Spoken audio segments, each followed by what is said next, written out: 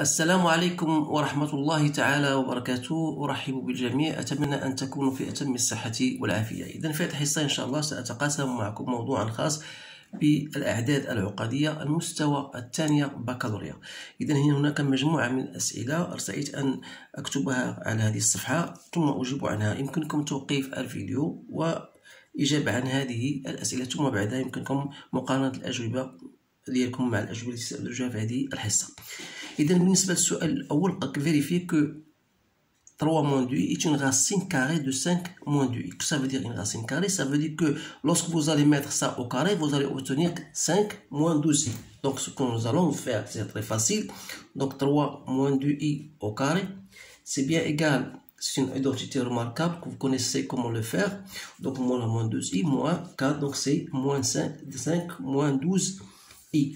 Donc ça veut dire quoi Ça veut dire que 3 moins 2i donc au carré est bien égal à 5 moins 12i وهاد المسألة غادي نحاول نخدمو بها في الوقت اللي غادي نديرو دابا ندوزو لهاد السؤال ديال résoudre non cette équation alors pour résoudre cette équation il faut déterminer delta qui est égal à 5 moins 2i au carré plus 4 fois i fois 2 plus 4i parce que j'ai ici moins 2 moins 4 et avec le moins j'ai fait entrer le plus donc ça va me donner 25 moins 20i moins 4 plus 8i moins 16.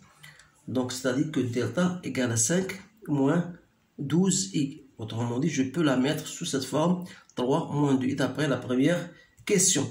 Alors cela va me permettre de déterminer z1 égale à moins 5 plus 2i moins 3 plus 2i sur 2a, c'est-à-dire sur 2i. Donc ça va me donner moins 8 plus 4i sur 2i, c'est-à-dire en fin de compte c'est 2 plus 4i. Alors que Z2, donc vous appliquez toujours votre formule que vous savez tous, vous allez trouver Z2 égale à i. Alors maintenant, je passe à la question 3. On donne, vous donne, dans le plan complexe unitaire repère orthonormé d'origine O, UV. Donc, on a les points A, B et C la fixe respective ZA, ZB et ZC. Donc, on vous demande de placer les points A, B et C. Alors, donc, pour le placer le point A, donc, A est imaginaire pur, c'est-à-dire ZA égale à I. Donc, c'est facile, voilà, le point A. Et le point B égale, donc, est égal à XB plus YB avec XB c'est 2, voilà le 2. Et YB égale à 4. Donc, voilà. Donc, ça me donne ce point-là. Donc voilà le point 4. Donc voilà le point B. Et le point C égale à 4. Voilà 4 plus I. Donc c'est-à-dire voilà, je fais I. Donc voilà le point C. Voilà, on a bien placé les points A, et B et C. On vous demande de montrer que le triangle ABC est isocèle en B alors pour ce faire, il suffit de montrer que AB égale à BC, ce que nous allons faire maintenant. Alors, on a A, B, c'est ZB moins ZA, c'est-à-dire 2 plus 4i moins i, donc c'est 2 plus 3i, et vous avez BC égale à ZC moins ZA, c'est-à-dire 4 plus I moins 2I moins 4I, c'est-à-dire 2 moins 3I.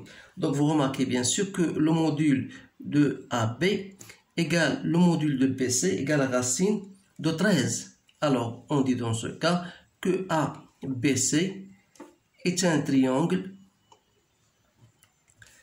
isocèle en B. Voilà. Donc, on vous dit, voilà, soyez le milieu du segment AC. Ce sont des questions directes. Et D est le point d'affixe de moins de I. Alors, déterminer l'affixe de I.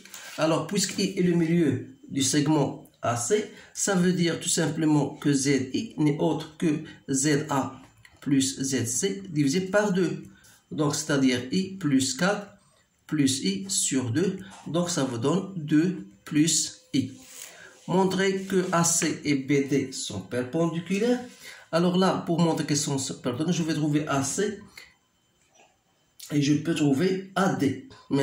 Donc si je mets en même temps, parce que je sais que AC, AD, voilà, si je mets AD ici, donc l'angle que fait AC et AD, ce n'est autre que l'argument de AC sur BD. Ici, vous avez BD. Alors, AC sur BD n'est autre que 4 plus I moins I. Sur BD, c'est 2 moins 2I moins 2 moins 4I. C'est-à-dire c'est 4 sur 6 moins 6I. Donc c'est 2 tiers I. Donc vous remarquez bien sûr que l'angle que fait BDAC n'est autre donc que l'argument de 2 tiers I. C'est-à-dire c'est pi sur 2 modulo de pi. Ce qui prouve que BD est perpendiculaire à AC. Montrer que ABCD est un losange. Donc, on a déjà montré que AC est perpendiculaire à D. Donc, on peut dire que ABCD donc, est un quadrilatère dont les diagonales sont se coupent, sont perpendiculaires, ou bien on va dire ils se coupent en leur milieu. Et n'oubliez pas qu'ils sont perpendiculaires. Voilà. Donc ça veut dire donc que ABCD est un losange. Ces deux conditions vous permettent de dire que c'est un losange. Pour la dernière question, voilà, on va déterminer l'ensemble des points MZ qui vérifient ces deux conditions. Alors là, il suffit tout simplement de remarquer euh, que Z moins 2 moins I, c'est quoi? Je peux l'écrire d'une autre façon.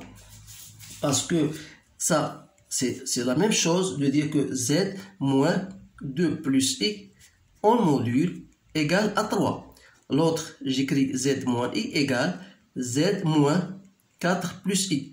Alors, je sais bien que ça, c'est déjà, c'est coordonné de Z, ZI, bien sûr, Z, euh, MC.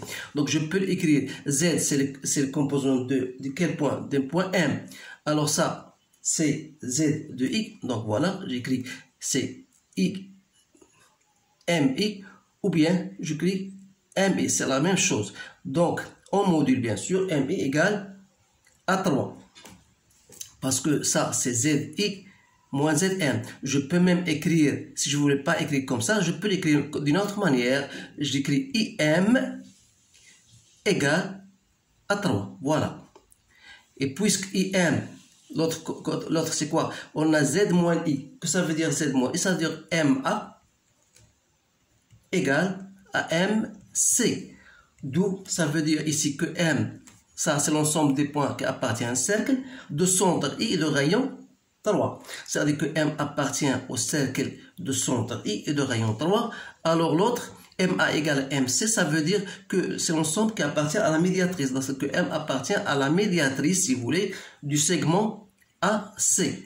Donc, M appartient à l'intersection du cercle de rayon 3 et de la médiatrice de AC. Autrement dit, M appartient au cercle centre I de rayon 3 inter BD. Voilà la réponse finale de cet exercice.